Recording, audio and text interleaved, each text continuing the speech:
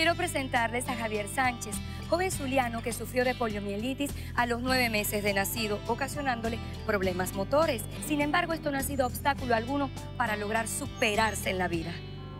Tu mamá, que en paz descanse, ya no está con ustedes. ¿Cómo te trataba? Igual que el resto de los hermanos. Yo para mamá no fui una persona con discapacidad, ella no, nunca me sobreprotegió.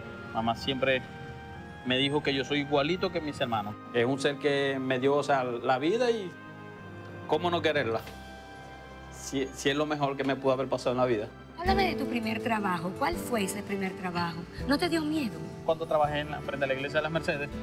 eh, Aquí mismo, muy Sí, cerquita. aquí mismito. Ajá. Este, duré nueve años este, como pregonero vendiendo este, frutas. En- generalmente la gente me conoce por acá en Maracaibo como Y limonero. ahora tienes siete años ya trabajando en una jefatura civil. Eh, ¿Y, y cómo te trata la gente? ¿Qué haces tú allí?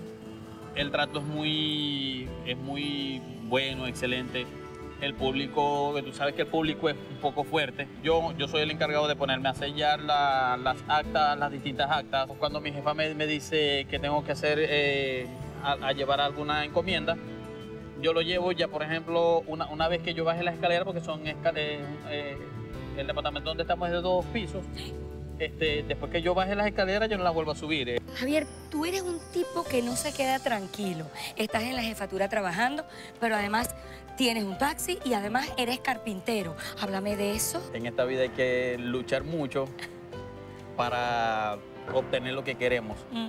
Bien, o sea, bien sea en lo material y mucho más a la felicidad de, de cada persona. Tienes seis hermanos y da la impresión de que son una familia muy unida, que colaboran unos con otros. ¿Es así? Nos ayudamos mucho eh, en todos los sentidos, en todos los sentidos, sí. ¿Cómo ves tu futuro? Mi futuro te puedo decir que con la grandísima fuerza, fuerza de Dios, perdón, te puedo decir que la- lo tengo asegurado. Porque del trabajo nos encargamos nosotros mientras Él nos dé vida y salud. Y para estar no como que completo, eh, pero tampoco es para que me falte mucho, sería mi casita. Ese es tu sueño. Ese es uno de los sueños que, Casita con hijitos. por supuesto, Para Javier la palabra imposible no existe. Es un luchador incansable que nunca pierde la esperanza. Porque nada cambia si tú no cambias. Demostremos que los venezolanos somos lo que queremos.